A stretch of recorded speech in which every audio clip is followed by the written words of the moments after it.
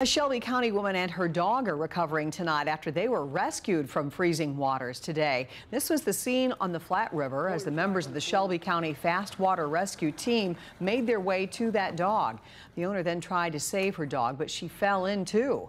Her husband had to pull her out. Thankfully, both the woman and her dog are okay tonight.